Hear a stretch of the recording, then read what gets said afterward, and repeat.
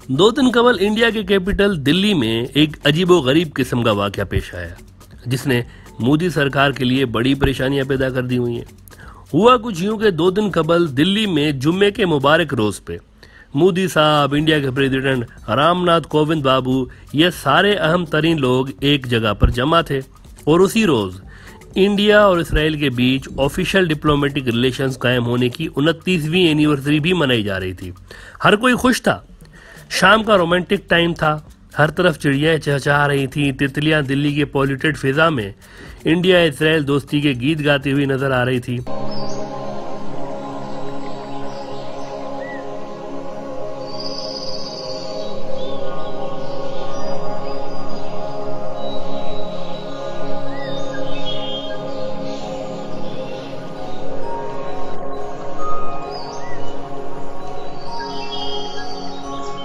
हवा में गाड़ियों के धुएँ और कार्बन डाइऑक्साइड के साथ साथ मिक्स होती हुई सड़क के बीचों बीच लगे फूलों की भीनी सी खुशबू ने रंगीन किस्म का माहौल दिल्ली में पैदा किया हुआ था।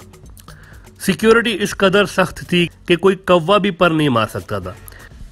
क्योंकि सारी जो देश की वीआईपी लोग थे, ये सारे दिल्ली में जमा थे कि अचानक एक जोरदार धमाका सुना गया। और इस धमाके के साथ ही वो जो रोमांटिक किस्म का वायलन बज रहा था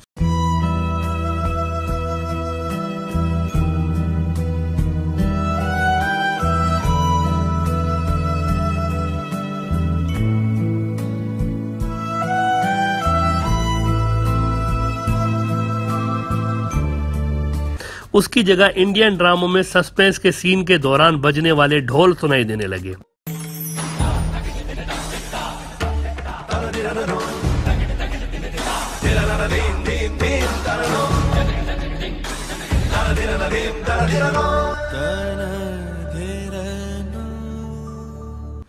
और पूरी मोदी सरकार चौंक गई कि आखिर ये हुआ क्या है?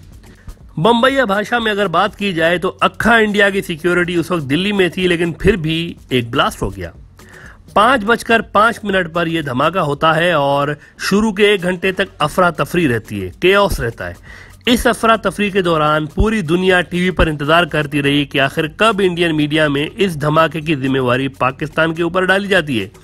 क्योंकि आमतौर पर होता यह है कि कोई भी ऐसा वाक्य हो जाए तो 25 से 40 मिनट के अंदर अंदर इंडियन मीडिया में इन्वेस्टिगेशन मुकम्मल हो जाती है और फ़ौरन ब्लेम पाकिस्तान पर डाल भी दिया जाता है कि यह पाकिस्तान ने करवाया है। कभी यह कह दिया जाता है कि मरने वाले आतंकवादी याद से अपने पॉकेट में अपना पाकिस्तानी आइडेंटिटी कार्ड लेकर आए थे तो कभी आतंकवादियों के बैग में पाकिस्तानी ब्रांड के निमको या चने डाल दिए जाते हैं। यह साबित करने के लिए कि चूँकि इसकी बैग में पाकिस्तानी चने थे, इसलिए यह आतंकवादी भी पाकिस्तान से ही आया था। लेकिन मामला उस वक्त मजीद सस्पिशियस हो गया जब इस बार ऐसा नहीं हुआ। इस बार ब्लेम पाकिस्तान पर नहीं आया। एक घंटा गुजर गया, दो घंटे गुजर गए। पाकिस्तानी खुद हैरान हो गए कि आखिर इस बार हमारे ऊपर ब्लेम क्यों नहीं लगा इस इस ब्लास्ट का? क्योंकि इंडियन मीडिया तो फ़ौरन 30 से 40 मिनट के अंदर अंदर हम पे लगा देती है सारा का सारा इल्ज़ाम कि इस आतंकवादी के जेब से पाकिस्तानी टॉफियाँ निकली हैं तो इसलिए ये पाकिस्तानी है। लेकिन इस बार ऐसा क्यों नहीं हुआ? सबसे दिलचस्प बात यह थी कि यह ब्लास्ट जो कि माइनर किस्म का था और इसमें कोई भी शख्स हलाक या जख्मी नहीं हुआ था लेकिन यह ब्लास्ट बहरहाल हुआ था और ये ब्लास्ट हुआ था इसराइल के एम्बेसी के बिल्कुल सामने यूँ समझे कि तकरीबन दरवाजे में ही उनके एम्बेसी के ये ब्लास्ट हुआ था और इसराइल ज़ाहिर सी बात है इंडिया के सबसे करीबी दोस्तों में से एक है Narendra, my friend, congratulations. Well, thank you for uh, for your uh, congratulations on my victory, but there's one difference. You don't need a coalition. I do. लिहाजा पूरी दिल्ली में पुलिस और सिक्योरिटी से रिलेटेड इदारों की दौड़े लग गई कि अचानक ये हुआ क्या है। इससे पहले कि लोग कुछ समझ पाते, एक और अजीब गरीब चीज़ ये हुई कि इंडिया की जानब से ये ऐलान हो गया कि ये जो कार्रवाई हुई है, ये किसी नटखट बंदे की शरारत है, ज़्यादा सीरियसली लेने की ज़रूरत नहीं है इसको। इंडिया की जानब से इस कार्रवाई को मिस चीफ का नाम दिया गया। ये अहम बात है कि इंडिया ने इसको डाउन प्ले करते हुए आतंकवाद से जोड़ने की बजाय मिसचीफ कहना शुरू कर दिया इंडियन मीडिया ने। लेकिन तब ही इसराइल की जानब से इसके बिल्कुल उलट ऐलान हुआ कि ये कोई मिसचीफ नहीं है। असल में ये आतंकवादी हमला हुआ है हमारे ऊपर। ये बात याद रहे कि इसराइल की टेक्नोलॉजी जो है ये इंडिया से बहुत ज़्यादा आगे और उन्होंने इंडिया के नेरेटिव को रद्द कर दिया कि ये शरारत नहीं है किसी मंचले की बल्कि ये आतंकवादी हमला है। आप यकीन सोच रहे होंगे कि आखिर मोदी सरकार ने अपने जिगरी दोस्त के साथ ऐसा क्यों किया है?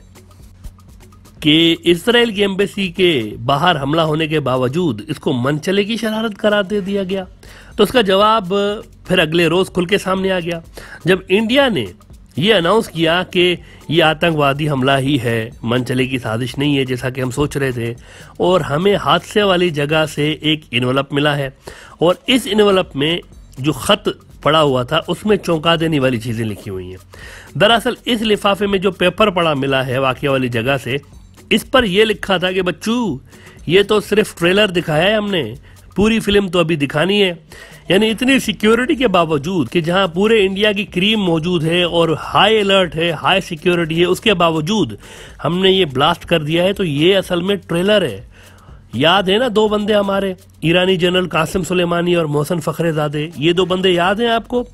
इनका हिसाब तो हमने अभी लिया ही नहीं है, और अभी तो हमने वो हिसाब भी लेना है इसराइल से। ये सारी बातें उस खत में लिखी हुई थी। और इससे इंडिया ने ये इकरार कर लिया कि असल में ये जो वाक्य पेश आया है, इसके पीछे हो सकता है कि ईरान मुलविस हो। अच्छा अब एक बात है यहाँ पर। आखिर क्या वजह है कि शुरू में मोदी सरकार इस वाक्य को डाउन प्ले करती रही कि यह वाक्य असल में मन चलों की साजिश है? तो जनाब, इसका जवाब यह है कि असल में ऐसा ही एक वाक्य, बिल्कुल सेम वाक्य इस तरह का 2012 में भी दिल्ली में पेश आया था। जब इसराइल के डिप्लोमेट्स के ऊपर हमला हुआ था और उसमें चार लोग जख्मी हो गए थे। इसकी शिकायत लेकर इंडिया उस वक्त ईरान गया और तब ईरान के ऊपर वहाँ के हार्डलाइनर जो एक सियासतदान थे, महमूद अहमदी नजाद उनसे इंडिया ने ये शिकायत की कि, सर, ये चार पाँच लोग आपके हैं, इन्होंने हमारे मुल्क में आकर इसराइली डिप्लोमेट्स के ऊपर ये कार्रवाई की है तो इसको देख लें आप। इस पे ईरान ने जो जवाब दिया था, वो बड़ा ही दिलचस्प था।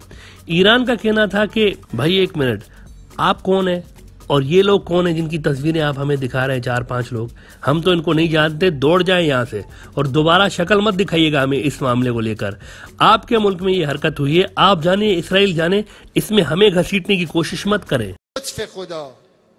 बेजूदी, हमें ये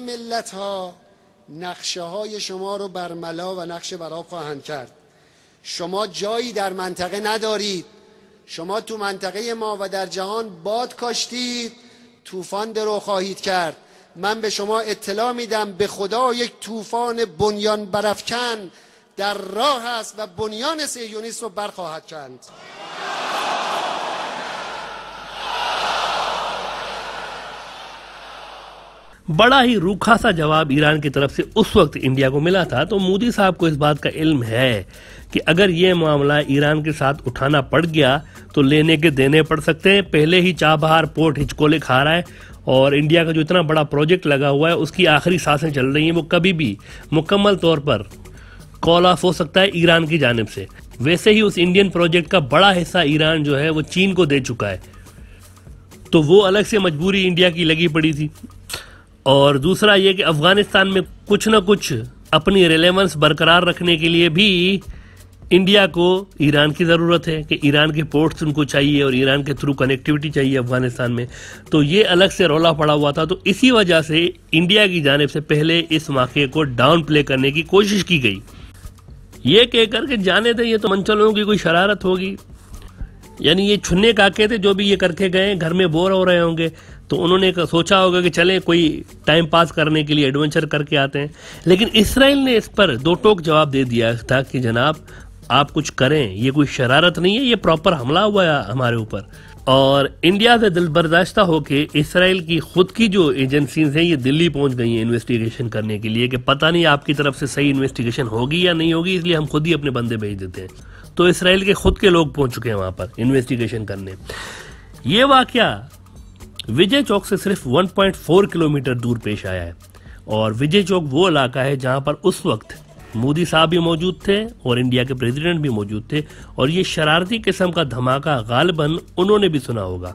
वैसे ऑन लाइटर नोट हो सकता है कि मोदी साहब ने यह समझा हो धमाका सुन के कि उनका कोई सिक्योरिटी गार्ड नींद की वजह से बाजू वाली बिल्डिंग की छत से गिर गया हो, इसलिए ये धड़ाम की आवाज़ आई है। क्योंकि ये धमाका उनसे बहुत ही करीब हुआ है और एन मुमकिन है कि उन्होंने भी सुना हो इसको। बहरहाल, आखिरी इतलात आने तक इस ब्लास्ट की इन्वेस्टिगेशन जारी थी और अब तक ये पता नहीं चल पाया कि इसके पीछे कौन लोग मुलविस हैं।